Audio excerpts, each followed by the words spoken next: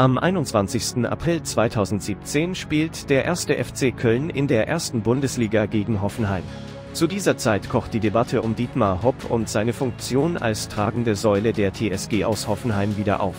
Dabei geht der DFB in Zusammenarbeit mit der Staatsmacht teils hart gegen gezeigte Spruchbänder oder andere optische Aktionen in diesem Zusammenhang gegen vor.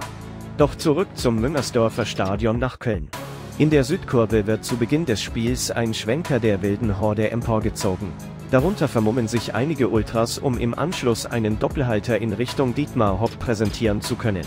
Auf diesem ist eine vollbusige Frau mit einer gewissen Beschreibung zu sehen. Den Rest kann sich ja sicher jeder dazu reimen.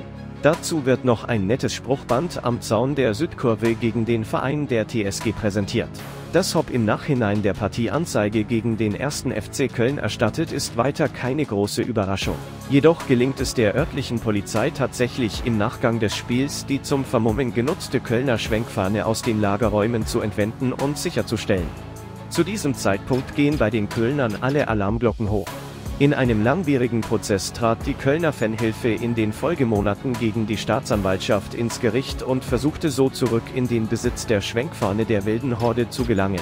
Und siehe da, sowohl das Amtsgericht als auch das Landgericht wiesen die Beamten zurück und bezeichneten das Sicherstellen der Fahne als unverhältnismäßig. In etwa ein halbes Jahr später gelangt der Schwenker also tatsächlich zurück in Kölner Hände.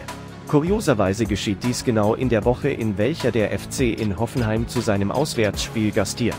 Dort soll die Fahne also passenderweise endlich wieder im Block der Domstädter wehen. Zitat Fanhilfe Köln. Am Ende stand also eine rechtswidrige Sicherstellung der Fahne durch die Polizei Köln sowie der erfolglose Versuch der Staatsanwaltschaft in zwei Instanzen die Beschlagnahme anordnen zu lassen da. Höhepunkt war dann letztlich auch der Zeitpunkt der Rückgabe. Die Fahne gelangte nämlich exakt in der Woche zurück an die wilde Horde, in der das Auswärtsspiel bei der TSG Hoffenheim bevorstand. Ein Timing der Staatsanwaltschaft, das man sich nicht besser hätte vorstellen können. Für mehr solcher Videos abonniere doch einfach diesen Kanal.